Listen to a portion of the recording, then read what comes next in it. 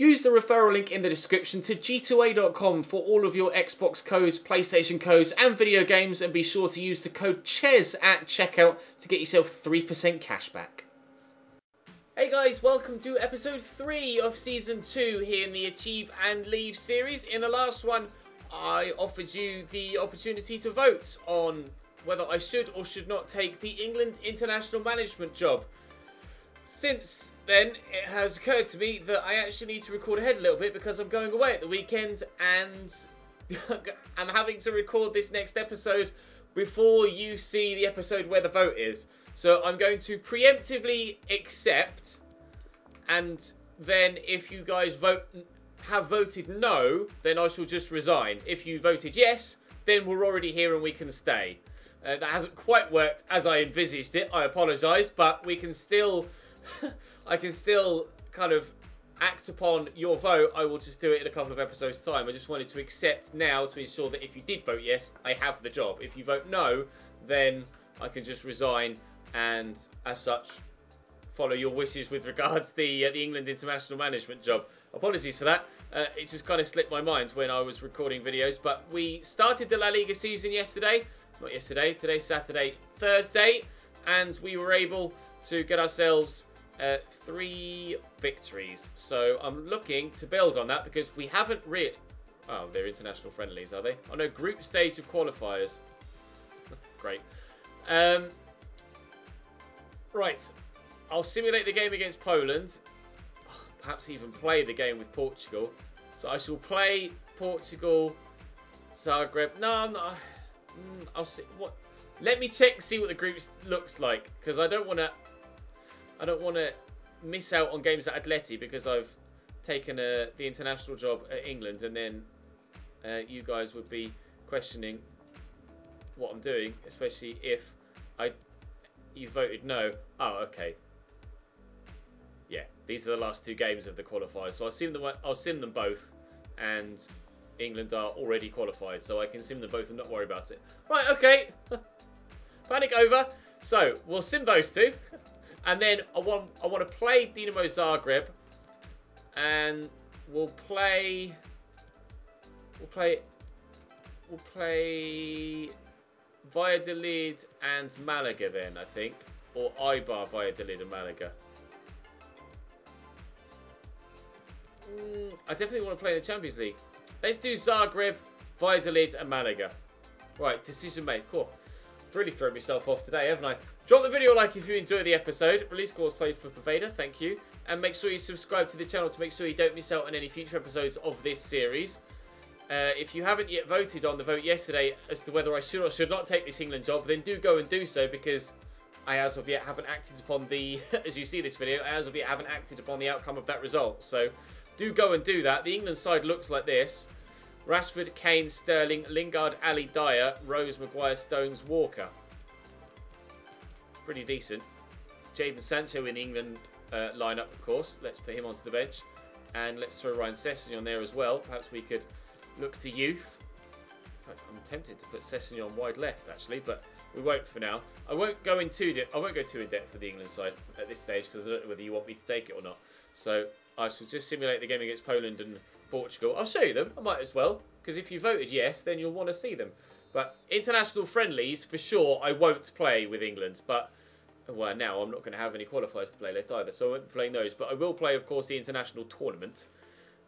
And then we shall take it from there, if you voted yes. If you voted no, I'll just resign. And uh, we'll wait and see what happens at a later date. You might want me to take an international job, but not the England one. Although we could always take England to Euro 2020 and then resign and play or sign for a different country for the World Cup in 2022. Get a victory against Poland by two goals to one. Thank you very much. We're going to simulate... Oh, Pervader sold. Good. He's agreed contract terms with someone else. That's superb. We shall sim Portugal. Guaranteed to finish top of the group, so it doesn't matter. Uh, Portugal presumably are going to be decent still. Yeah. Carvalho gives them a 1-0 lead in the sixth minute. Thank you, William. Rafa, Ronaldo and Guedes as their front three. Fernandez, Silva and Carvalho in the midfield with Cancelo, Mendes, Dias and Mario Rui at the back with Antonio Lopes. Ah, great. Jedson Fernandez gives them a 2 0 lead, but Marcus Rashford pulls one back for us from left wing. And we might be able to get a draw. No, we're not able to get a draw. It's a 2 1 defeat to Portugal. That doesn't matter because uh, we don't care. Um, we're already finishing top of the group. Did Rossi? Well, let me train Wagner. It's going to let me train Wagner, who isn't at my club. Because I've still got the preset. I can still train. Well, that's odd. I don't know whether to utilise that or not. I probably won't, thinking about it. I won't. I'm not gonna I'm not gonna train Wagner whilst he's not at my club because that's cheating. It's definitely going against the rules. So I won't do that, but I will continue to train Edwards because I've loaned him in.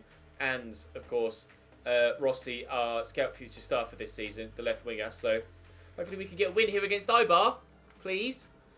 He says there's literally nothing has happened in the first 45 minutes. They get a booking and then go 1-0 up through De Blasis. Excuse me, lads. It's Eibar, if you don't mind. Thank you, Diego. Bloody hell. A one-all draw away from home against Eibar. And it's going to be... Oh, uh, no, no, no. Skip, skip. Cut. Right, a cut there. I don't want a copyright strike. Thank you very much, UEFA. Leave me alone. Let's go and train uh, Wagner. Not Wagner. He said he was zero rated there a moment ago, I'm pretty sure. Regardless, let's go train Rossi. And then we can train Edwards next time. Right, so Dinamo Zagreb, Inter Milan and PSV in our Champions League group. So it's certainly a winnable group. Most certainly a qualifiable group. And uh, we may even give Sergio Aguero a run out for the first time in this upcoming game. Bernard Mensah wants to play. Maybe, actually, considering it's not the most difficult of games. I might not start him, but perhaps I can bring him off the bench. In fact, bollocks to it. Depending on the fitness of everyone else, I might start him. Let's have a look. What does the stamina look like for everyone else? Oh, everyone's pretty pretty much okay. Okay, we'll take Diego Costa up for... No, not Balotelli. For Sergio Aguero. Jimenez for... No, Godin for Boateng. Uh, Thomas for Saul. And Mensah is no longer on my bench, actually. Sorry, pal. Uh, I'll put him on the bench and I'll bring him on for Saul. Rodrigo Koke? Eh? No, let's leave it for now. Actually, let's give Edwards a game. Centre back ahead of Jimenez. Let's do that. All right, here we go then. Dinamo Zagreb away, our first Champions League game of the season. Well, and they've got some talent in their squad as well. Olmo on the attack for Zagreb. Nice interception. Gelson Martins gets that forward to Aguero, who loses possession immediately. Not the best welcome for me. Back at Atleti for use there, Sergio, but this time he keeps possession and plays it forward to Gelson Martins, who'll find Griezmann, who's turned into a defender as well. Okay, and he's won it back. Gelson Martins. There's Sergio Aguero. He will be able to get on the end of this. Hopefully, he's chested it down well. We'll just poke it there looking for Gelson Martins. Hit it early to catch the keeper out. It's going to come back off the post. And Aguero lashes it home. Aguero! Welcome back to Atleti, my man. Nine minutes for the number nine, and he has his first goal. In fact, it's less than that. It's the eighth minute for the number nine, and he has his first goal. He very nearly had an assist. But, oh, Christ, did he lash that home. Atletico Madrid 1, Dinamo Zagreb nil. You might be in for a battering here, boys. Hernandez into Thomas. What's there to Koke? Out wide nicely to Sime Vrsaljko. Back there to Koke. Rifle that in there to Sergio Aguero. Griezmann has the space to run into. I haven't yet scored with him in this save. I still haven't scored with him in this save. Wow. Off the bar. Look for Thomas Lemar here. Okay, well the first one was meant for him. The second one found him. Is that a foul? It's not. Griezmann will hurdle the man and somehow the defender got to that first. It's like reached around Antoine Griezmann to get his foot on that. Thomas with a good touch. Can't find a teammate and Zagreb come away with it.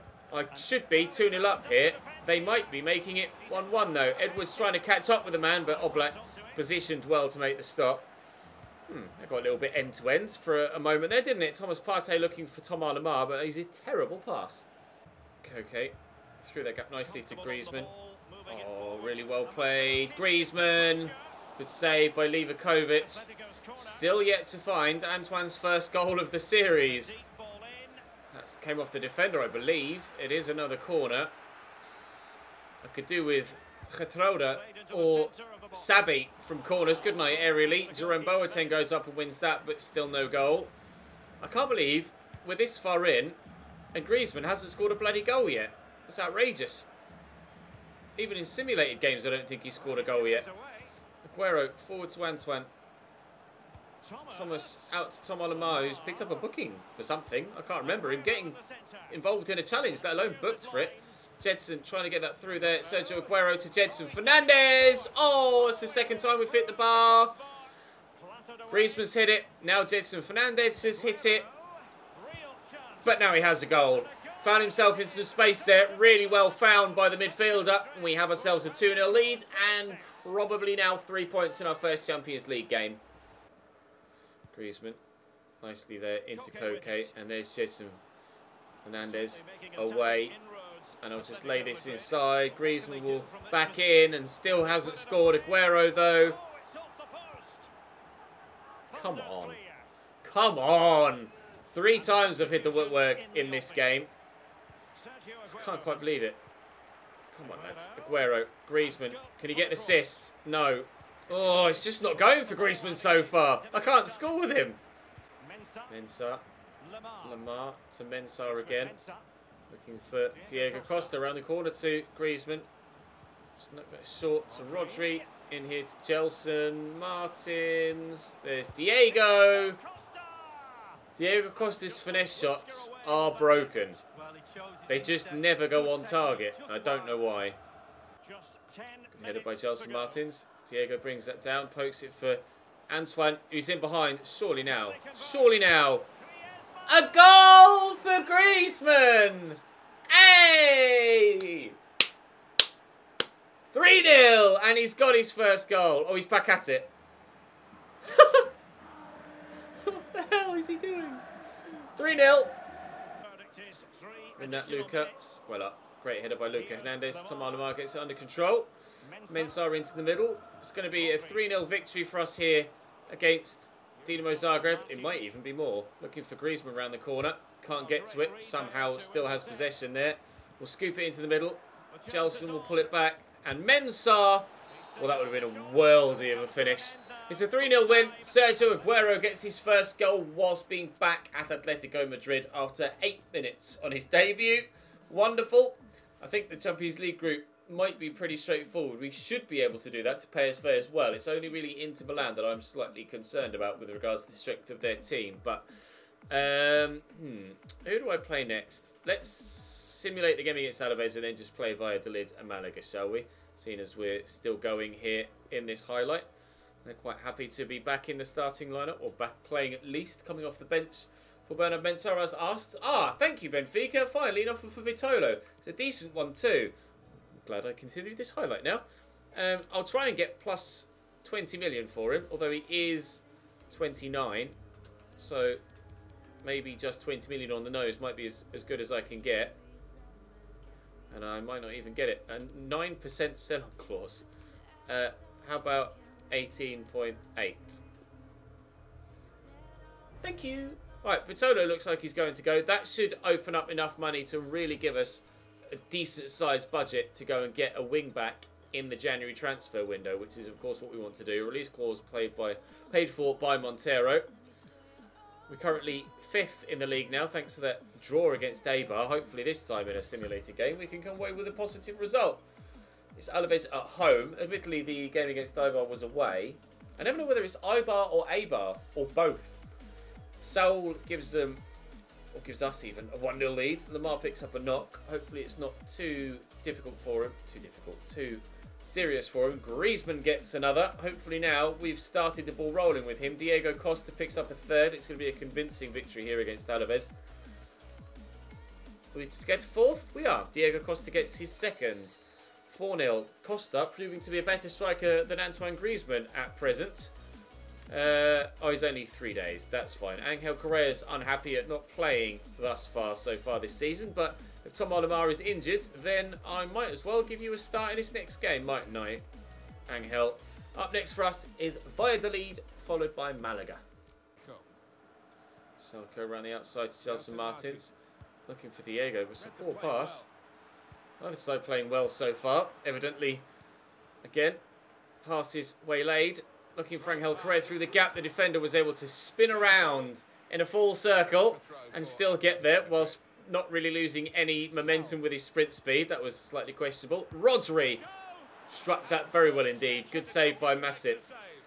Corner from... Oh, Griezmann's taking it. Why is that? Don't know. Jerome Boateng's underneath it, but he heads wide. We could have been 1-0 up. We are not. Mayoral around the corner to Miguel. Not had the best of starts to the season, Valladolid. They just said in commentary they've lost their last two games. So you'd like to think that with us chasing a league title, this is the sort of game that we should be winning away from home. Regardless of opposition, we should probably be winning the majority of our games, regardless of whether they're home or away against almost every side. You'd say it's only five or six teams that would really give us too much of a test in La Liga. It's not the strongest of divisions. Wait for Gelson Martins and use his pace. Then maybe look for Griezmann or even Angel Correa. He's asked for the start. I turned a little bit too much there. That's my fault.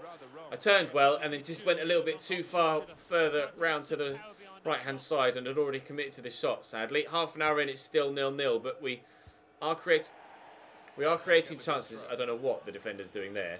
That's completely inexplicable. That's only something that would happen on FIFA, I think. So, looking for Correa. Let's try again. Never mind, blocked at source. Just over half an hour in now, and it's still nil-nil here against Valladolid. Nice ball over the top. Looking for Mayoral. Early into the middle. Oh, Jose Maria Jimenez nearly tested that to his own net. It's going to be a corner. Why the keeper went for it with his legs, I don't know. If he goes that with his hands, he probably catches it. Nice headed clearance by Saul. Griezmann just gets that first and will dart away from the defender. And now we're in behind with Antoine Griezmann. Although the defender has kept up with him superbly well. Angel Correa to Diego Costa. I've got Gelson Martins there, and he's played in. Oh, he's won the 50-50, but can't come away with possession. Rodri should win that header, though, and finds Griezmann, who gets it down, turns well, lets fly. Everything being blocked at the minute by the Valladolid backline. Costa there, look for Martins. Cut back, deliver it in. Griezmann! There's another goal for Antoine, rising above the defender. Atleti 1, Valladolid nil just before half-time. Monti, cross here to Miguel. Off the 1-2. One, two, three. It's worked well. Mayoral in behind. Luca Hernandez trying to close him down. Not done that very well, but Boateng's there to win the header. Correa knocks it down to Griezmann. Correa will go again, and I'll just look to burst in behind here if we can. I'm not sure what Correa's sprint speed is these days on FIFA. Just knock that in there to Saul, who'll turn well. Diego Costa. I want to try and get a laces shot away with Diego rather than a finesse, because the finesses just don't seem to work with him for some reason. They always are aimed wide, regardless of what I do with the stick. Trying to get it through to Griezmann and can't. Twice. Sums up this game, really. Just not good enough from either side. Thankfully, we were able to get ourselves the 1-0 lead just before half-time, but just, just really poor from everyone in this game. Really poor from everyone. And Correa just runs straight into the man when I'm trying to break into the space in behind him as well. And again, given away by Valladolid. This game has just been terrible by both teams. Thankfully, we have seen some quality. This time from Antoine Griezmann, and he's doing the daddy shark again. It's 2-0, and it's 2 for Antoine. It's about time we started to score goals with him. Maybe we've turned the corner with Griezmann, and he'll start scoring goals in this series at the same rate that Sabi has done in the RTG. Here's Rodri. This Saul. Griezmann on a hat-trick. Gets out of his feet. Griezmann has a hat-trick. Valladolid held firm for as long as they possibly could. But it is going to be a 3-0 scoreline in the 77th minute. And there's still time to go and score a fourth. I think quite a few games for us in La Liga are going to be this straightforward. 71 and 77. Two quick goals there for Griezmann. It's going to be an easier season with regards to the league than it was at Chelsea. But it's probably going to be just as difficult, if not more so, in European competition. I'd like to think the Copa del Rey is something we could certainly put our names in for as well. Thomas has come on in midfield. I'll try and get this to Mario Balotelli, but failed to do so. I'll have to get some sort of graphic made up with regards our trophy cabinet, and then we can um, we can keep tabs on what trophies we've gotten in what countries throughout the save. Balotelli straight down the throat of the keeper. Griezmann out to Koke. Into Mario. Oh, we still don't have a fourth. I mean, I had to bury that, surely. I really had to put that away. Rodri will look for Thomas. Thomas will look for Mario. It's a good turn, but running out of room. Uh, I'll just lay that back. Don't blow your whistle yet, ref. Oh, okay, blow your whistle now. I wanted to try to score a fourth. Never mind. It's a match ball for Antoine Griezmann. His three goals give us a win away from him against Valladolid, who created nothing in the entire game. Let's hope we could do exactly that again against Malaga, who've just lost at home against Girona. Hopefully, it should be another straightforward victory. We are top of the table. We are level on points with Barcelona and Valencia. Real Madrid just four behind, still unbeaten, but drawn three of their opening six. Up next for us is Malaga. Corner for Malaga in the 28th minute. Ontiveros to deliver it into the middle, and it's a good ball in too. Jose Maria Jimenez wins it well. Started a rotated side here, or a mixed side, and it certainly feels like a team that isn't at full strength a little bit disjointed, not necessarily firing on all cylinders, but it's certainly a feeling I'm going to have to get used to because it, it seems pointless to do a series like this and strengthen with signings to, you know, build my squad depth to then only play with the same 11 week on week when we have the opportunity to. So I want to try and change things around. I want to make use of the full squad. And hopefully we will be able to do that. And that would have been a hell of a goal from the right back, Santiago Arias, had it found its way into the back of the net. Lemar will deliver the corner, and it's a good one. Jimenez might be underneath it. He's won that well. It's Balotelli, in fact, that had the effort in the end. Oh, how has he headed that through Gelson Martins? That's pretty ridiculous. Hmm. Not the best of first halves for us here. Not the best of first halves for us here at all. Johnny getting away from Arias. Looking down the line, but Jimenez should have that covered. I don't know how fast and Penza is. He's not going to beat Jose Maria Jimenez for, for pace or strength. And we might actually keep this highlight going because we could send... No, we can't send Aguero through. We could send Gelson Martins through perhaps, though. Can't do that either. Great. What a first half we're having here at home against Malaga. One to forget so far. Hopefully we can at least end up with some sort of memorable result at the end. Okay forward to Cesc. Aguero's made a great run. And Cesc Fabregas has the vision to find him. As you might expect, he does. Deadly. Clinical pass. Clinical finish. Fabregas to Aguero. That's the sort of quality this game has lacked so far. Beautiful pass by Cesc. Just so calmly outside the foot. Barely any power on it. Perfect weight. Aguero runs on and then with the outside of his right. Yeah, with the outside of his right foot. Smacks it into the top corner. 1 0 Atleti, finally. out wide there to Wankar. What about Malaga's next game, Alan? Malaga got Betis next, a side that we've beaten already so far this season. Malaga might be joining that team's beaten list by the end of this one. I can't get away from this right back area though. And thankfully Balotelli tracks back defensively and giving the ball away. Santos Oh, it's a nice one too. Can Jimenez get to that? He can't. Thankfully, Jan Oblak makes a great save. Corner to come in for Malaga. Might be making some changes sooner rather than later. Although we do have a game against Inter Milan on the horizon, I believe, in the Champions League. And Benza flicks it on, but Johnny heads away. There's just over 20 minutes left for Malaga to get themselves a goal back here and equalise. But they won't be doing that yet if Jan Oblak has anything to do with it. Let's ball out to Arias. He's calling for it down the line there, Martin, so I'll play him in. Patience is the name of the game at the moment. Chink back. Oh, lovely ball. Aguero! Technique was good, but the execution of the finish itself, not quite there. He started well with his leg high, and then as he swung through, his leg came down. He just got caught underneath the ball.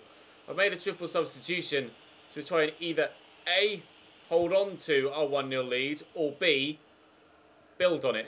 Either could happen, because I've freshened in midfield and attack. Hopefully, we will be able to at least stay 1-0 up.